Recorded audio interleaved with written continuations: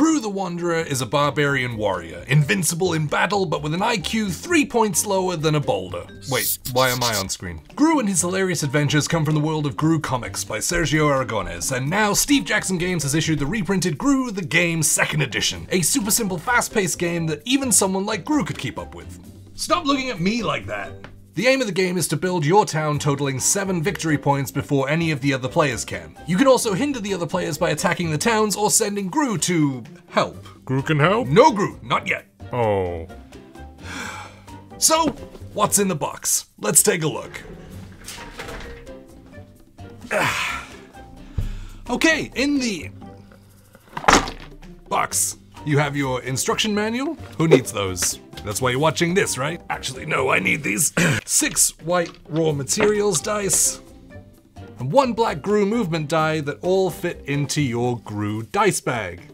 Oh. You also have your deck of cards, and these are split into one black phase card, the one blue Groo card, yellow building cards, purple event cards, red Groo effect cards, green troop cards, and the rainbow Wildcards. So now we have everything, but how do we play? Well, I'm joined here with Future Jay. Say hi, Future Jay.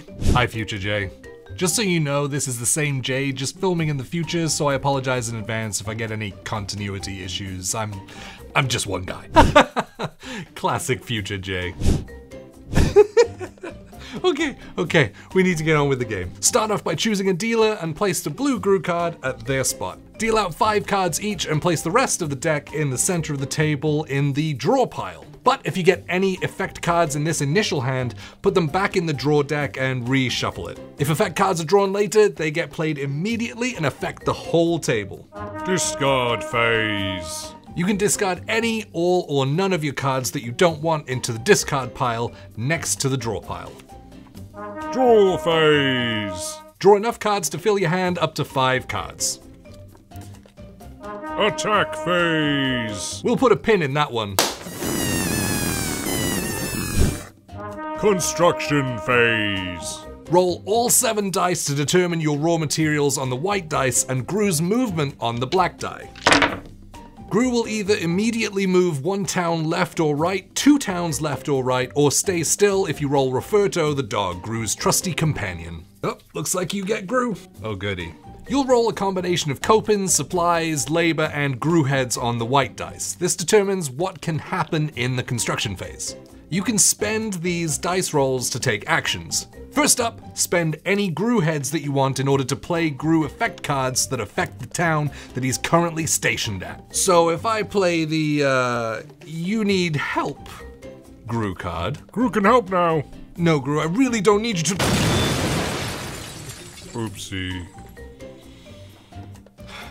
Then Groo destroys three buildings at his current location. You can now play building or troop cards by spending labor and supplies as demanded by each card. As you spend each die, set it aside, because in the Hmm, leftover phase.